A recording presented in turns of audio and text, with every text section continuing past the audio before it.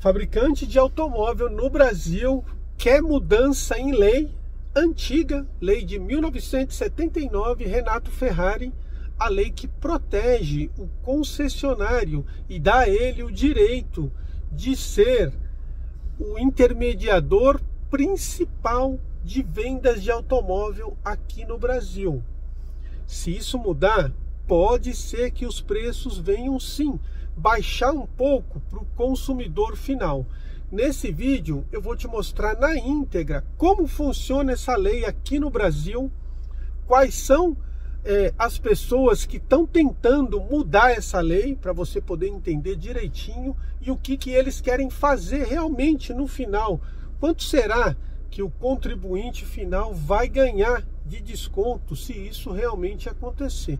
Eu tenho certeza que você vai gostar desse vídeo aqui porque eu fiz no capricho. Fica até o final porque vale a pena. Amigão, antes de iniciar, eu te peço, amassa o like aí, que é importante para nós. Você caiu de paraquedas no vídeo e não está inscrito? Se inscreva aqui embaixo para receber o conteúdo novo que a gente põe todos os dias aqui. Me conta de onde assistiu o vídeo. Carros podem ficar mais barato caso haja uma mudança numa lei que hoje tem o nome de lei Renato Ferrari.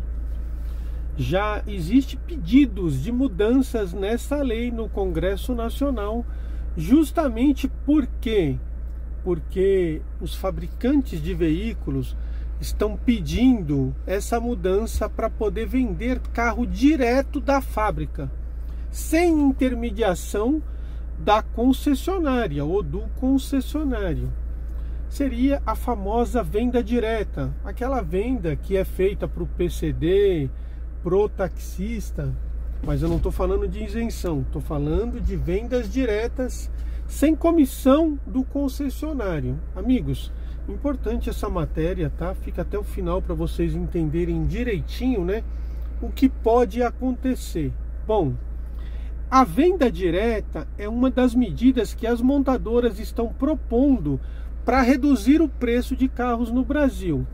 Elas acreditam que conseguem vender veículos com descontos maiores ao consumidor nessa modalidade, uma vez que são retirados do preço final margem de custos que surgem quando há intermediação via concessionária. Além disso, a carga de impostos pode ser um pouco menor. Atualmente, as montadoras não podem vender carros de forma direta para os consumidores final. Pela lei, é preciso ter intermediação com concessionária e redes de distribuidoras. No entanto, este acordo é de 1979 e o mercado já mudou bastante nesses mais de 40 anos. A lei permite venda direta para pessoas jurídicas, como é o caso de frotista, e essa forma já é bastante utilizada, inclusive. Dados da Bright Consult revelam que a participação nas vendas diretas passou de 43% em 2018 para 46,8% em 2023. Efeitos da venda direta para pessoa física, para você entender. A venda direta para pessoa física poderia ter diversos efeitos no mercado automotivo brasileiro.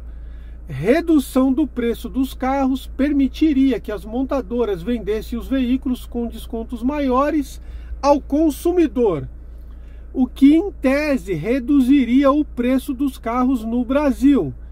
Aumento da concorrência, a venda direta deve aumentar a concorrência no mercado automotivo, uma vez que as montadoras poderiam vender seus veículos diretamente ao consumidor final. Perda de receita para concessionárias. As concessionárias seriam prejudicadas com a venda direta uma vez que perderiam uma parte da sua receita. Bom, como está essa discussão? Segundo o que está sendo apurado, o assunto ganhou mais força nos últimos dias, quando representantes da Anfávia se reuniram com representantes da FenaBrave para analisarem o tema. A Anfávia, que é a associação que representa as montadoras, defende mudança na distribuição dos veículos para se adequar ao mercado, cada vez mais ágil e digital, e que a demanda e a modernização nos tratados de venda. Já a FenaBrave, a medida com mais receio, sobretudo, após Procuradoria-Geral da República, a PGR, questionar, junto ao Supremo Tribunal Federal, alguns dispositivos na lei, como de exclusividade da marca e de exclusividade territorial. A lei Renato Ferrari afronta a liberdade de contratar e viola os preceitos fundamentais da livre iniciativa, afirmou em petição encaminhada ao STF em 13 de janeiro a procuradora Eliseta Maria de Paivas Ramos. Amigos, e tá desse jeito, fica até o final para vocês entenderem.